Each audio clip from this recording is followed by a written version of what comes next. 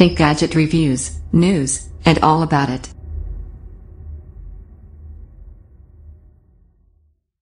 Samsung Galaxy S8 Plus hands-on review. The Galaxy S8 Plus is big, bigger than any of Samsung's smartphone offerings last year. Backslash.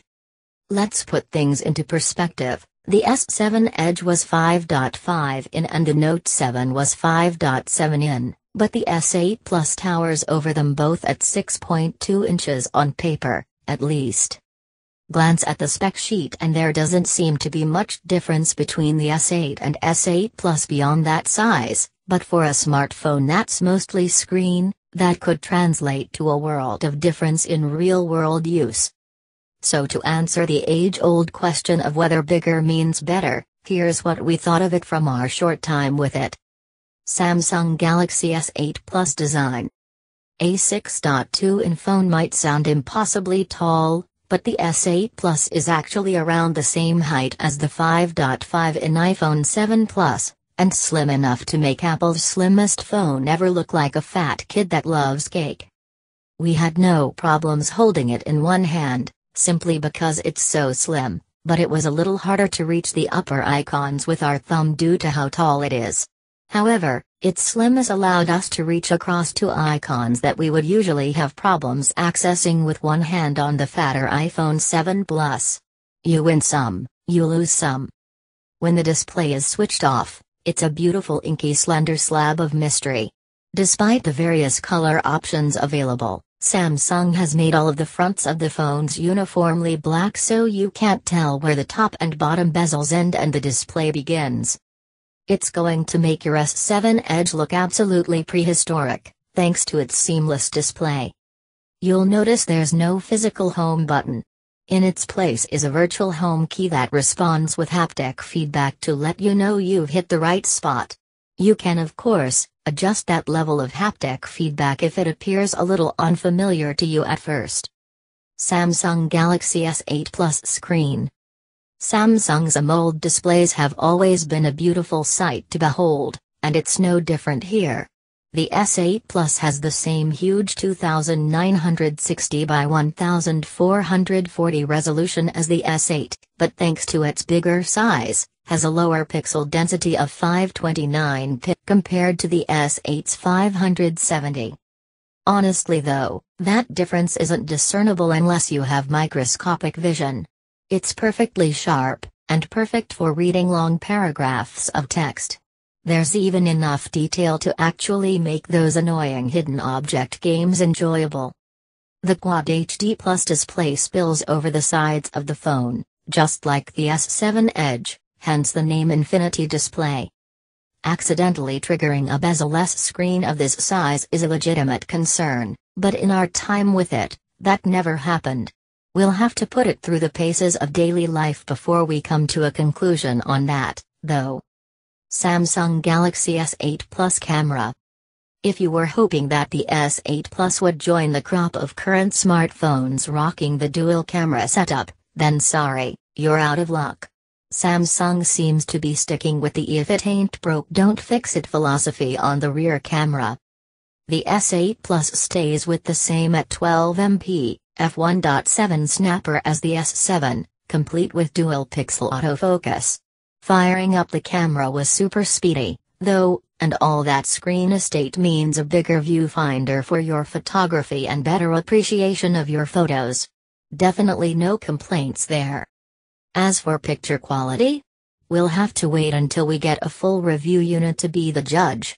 The S7 had one of the best phone cameras out there last year, but the dual cam competition has been heating up rapidly in 2017. It will have to work hard to stay on top.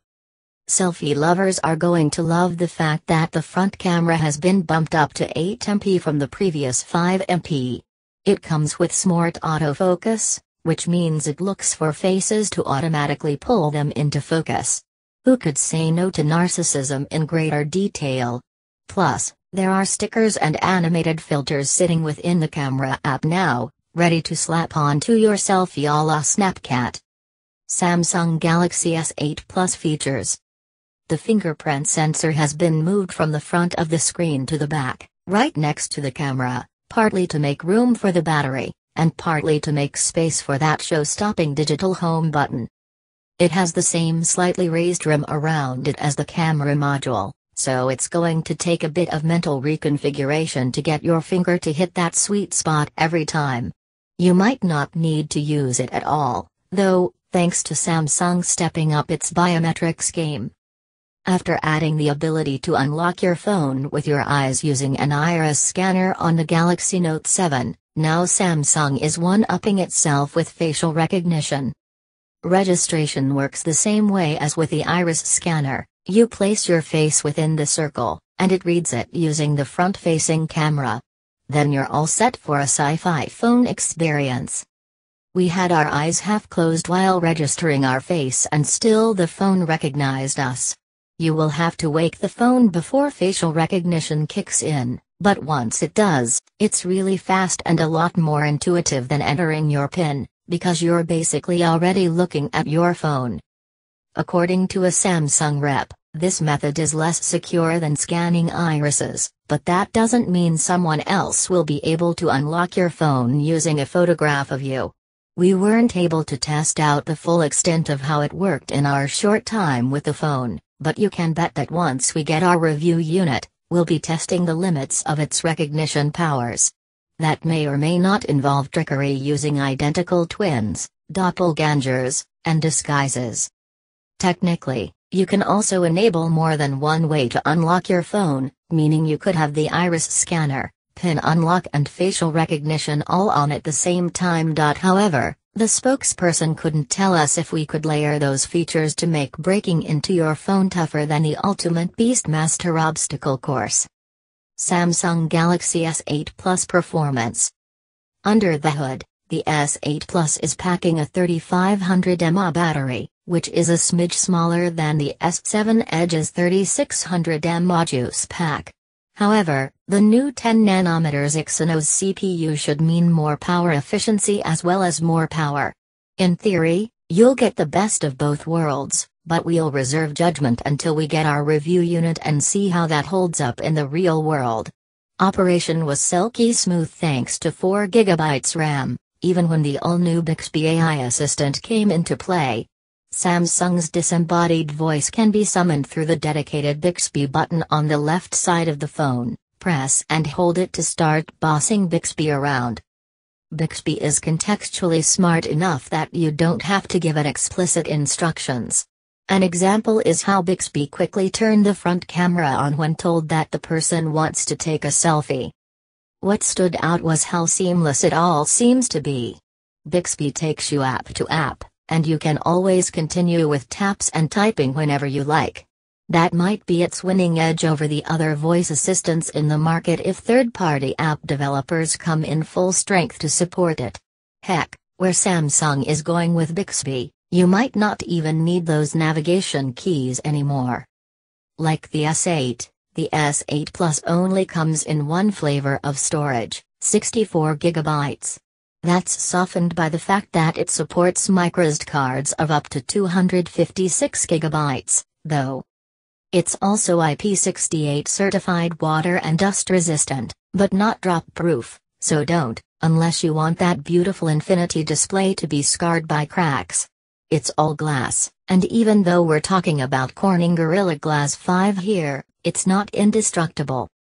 Samsung Galaxy S8 Plus Initial Verdict to answer my own question I asked at the start of this preview, yes, bigger is better, even if there's not that much differentiation in the S8 Plus's case. It's all thanks to that gorgeous display. This plus-sized beauty's got all the right curves for the right visual appeal.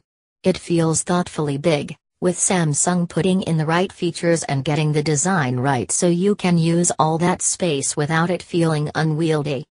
We dare say the S8 might even find itself standing in the shadow of its bigger brother. Stay tuned to our review to find out if this is our final verdict, but if first impressions are anything to go by, we can't wait to get to know it better.